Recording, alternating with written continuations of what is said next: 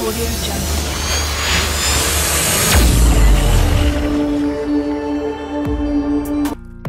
ਹਾਂਜੀ welcome back this is Gill brand so ਆਪਣੇ ਕੋ ਅਮਨ ਭਾਈ ਹੈ ਹੁਸ਼ਿਆਰਪੁਰ ਤੋਂ। ਤੇ ਭਾਈ ਹੁਣੀ ਯਾਮਾ ਲੈ ਕੇ ਚੱਲੇ ਬਹੁਤ ਬੰਬ ਯਾਮਾ ਵਾ। ਤੇ ਭਾਈ ਆਪ ਦੱਸੂਗੇ ਕਿ ਭਾਈ ਕਿੰਨਾ ਕੁ ਵੇਟਿੰਗ ਕੀਤਾ ਯਾਮਾ ਅਜੇ 15 ਦਿਨ ਲੱਗੇ। ਸੋ 15 ਦਿਨ ਇਹਨਾਂ ਦਾ ਸਪੈਸ਼ਲ ਯਾਮਾ ਤਿਆਰ ਹੋਣ ਨੂੰ 15 ਦਿਨ ਲੱਗਾ। ਸੋ ਯਾਮਾ ਦੱਸੋ ਕਿੱਦਾਂ ਦਾ ਲੱਗਾ ਤੁਹਾਨੂੰ? ਬੰਬ ਭਾਜੀ ਬੰਬ। ਤੇ ਕਿਥੇ ਹੋਰ ਕੋ ਟਰਾਈ ਕੀਤਾ ਸੀ ਯਾਮਾ ਪਹਿਲਾਂ? ਹਾਂਜੀ ਹਾਂਜੀ ਭਾਜੀ। ਮੈਂ ਨਹੀਂ ਮਿਲੇ ਨਹੀਂ ਭਾਜੀ ਕਿਤੇ। ਤੇ ਦਿਲ ਖੁਸ਼ ਹੁੰਦਾ ਯਾਮਾ ਦੇਖ ਕੇ ਕਿ ਨਹੀਂ? ਸੋ ਭਾਈ, ਹੁਣਾਂ ਦਾ ਯਾਮਾ ਦਿਖਾਣਾ ਤੁਹਾਨੂੰ ਮੈਂ, ਯਾਮਾ ਚੈੱਕ ਕਰੋ। ਸੋ ਐਂਡ ਵਾਲੀ ਗੱਲਬਾਤ ਲੱਗਦੀ ਯਾਮੇ ਦੀ ਪੂਰੀ ਭਾਈ ਨੂੰ ਐਨ ਓਕੇ ਲੱਗਦਾ। ਤੇ ਭਾਈ ਚਲਾ ਕੇ ਵੀ ਦਿਖਾਓਗੇ।